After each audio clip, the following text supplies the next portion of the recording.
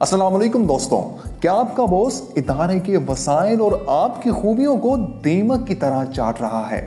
وہ دفتر میں سب کو ٹینشن اور سٹریس میں رکھتا ہے اور یوں آپ سمیت آپ کے ماتحت اس کے خوف کی وجہ سے اپنی تخلیقی صلاحیتیں استعمال نہیں کر پاتے۔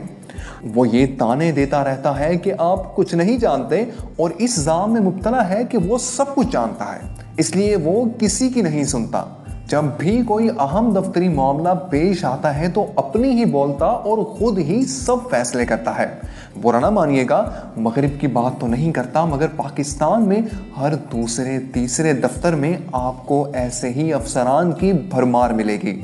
یہ افسران چھوٹے پیمانے پر لیڈر ہیں۔ اپنے دفتر میں اپنے ملازمین کے لیے۔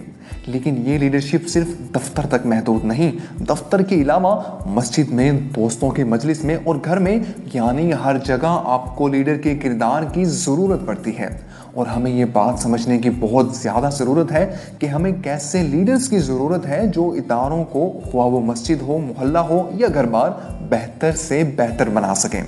لیز وائز مین اور ان کے ساتھی محقق گریک میکون نے چار پریاسموں کے ایک سو پچاس سے زائد لیڈرز یعنی مینیجرز ٹیچرز اور سپورٹس کوچز کی شخصیت اور کام کا مطالعہ کرنے کے بعد کتاب لکھی ملٹی پلائرز اور اس کتاب میں بتایا ہے کہ بنیادی طور پر دو طرح کے لیڈرز دنیا میں پائے جاتے ہیں۔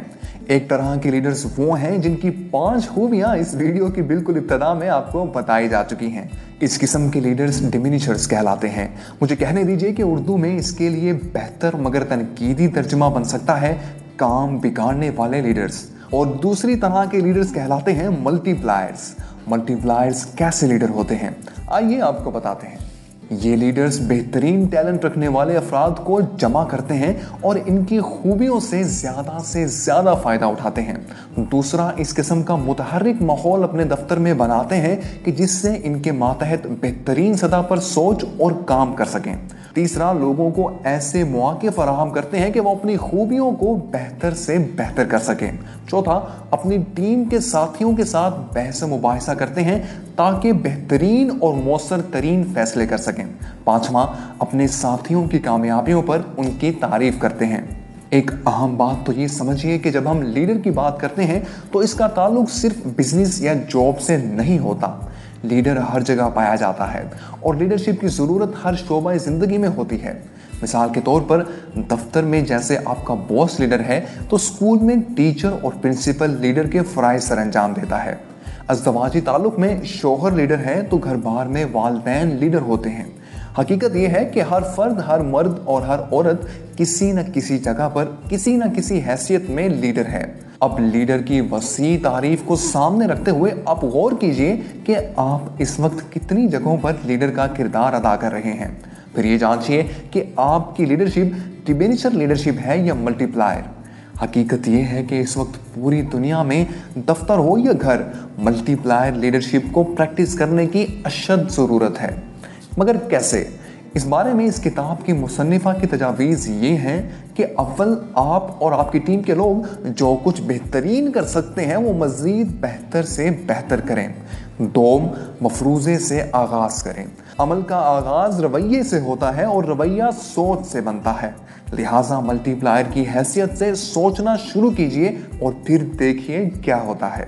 سوم تیس دن تک اپنے تائیں ملٹی پلائر چیلنج لیجیے۔ ایک مہینے تک اپنی لیڈرشپ کو اس انداز سے اختیار کیجیے اور ہر مہینے رفتہ رفتہ اسے ایک سال تک لے جائیے۔ اس دوران جو غلطیاں ہوں ان سے سیکھیے اور آگے بڑھتے رہیے۔ یہ سب کچھ ایک دم سے نہیں ہوگا۔ کوئی بھی اچانک بہترین نہیں ہوتا، ہم سب کو بہتر لیڈر، بہتر ماں یا باپ، بہتر ملازم، بہتر استاد، بہتر شریک حیات بننے کے لیے مسلسل بہتری کی طرف گامزن رہنا ہوگا۔ اور جب ہم خود کو بہتر سے بہتر کرتے چلے جائیں گے، تو ملٹی پلائی کا مفہوم سمجھنے کے قابل ہوں گے۔ میں اس ویڈیو کا اختتام مشہور زمانہ فلسفی اور ماہر سٹیفن آر کوئے کے اس جملے پر کرتا ہوں جو انہوں نے اس کتاب کے پیش لفظ میں لکھے ہوئے ہیں۔ اس وقت دنیا کا سب سے بڑا مسئلہ یہ نہیں کہ وسائل کم ہیں، بلکہ دستیاب وسائل کو استعمال کرنے کی اہلیت ہی لوگوں میں نہیں ہے۔ تو دوستوں، اس ویڈیو کو لائک کیجیے، شیئر کیجیے اور ہمیں کمنٹ میں لکھ کر بتائیے کہ آپ کب ملٹی پلائر کا ایفیکٹ اپنی زندگی میں لا رہے ہیں۔ ویڈیو دیکھنے کا بہت بہت شکریہ۔